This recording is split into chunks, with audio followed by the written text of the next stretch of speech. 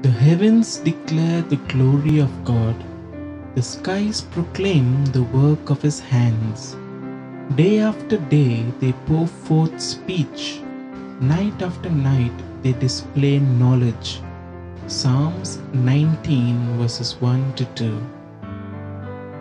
Thoughts on today's verse. God's voice is always speaking.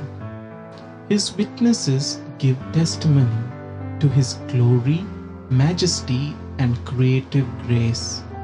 The universe shouts with joy that behind its intricate beauty and powers is the one who gave it life, purpose, and intention. My prayer. O great God, creator of the countless heavens and our own small blue planet, Thank you for noticing the heart cries of one so small in a universe so large. I love you, admire you, trust you, and worship you with wonder. Be exalted in my life, my words, and my deeds this day. In Jesus' name I pray. Amen.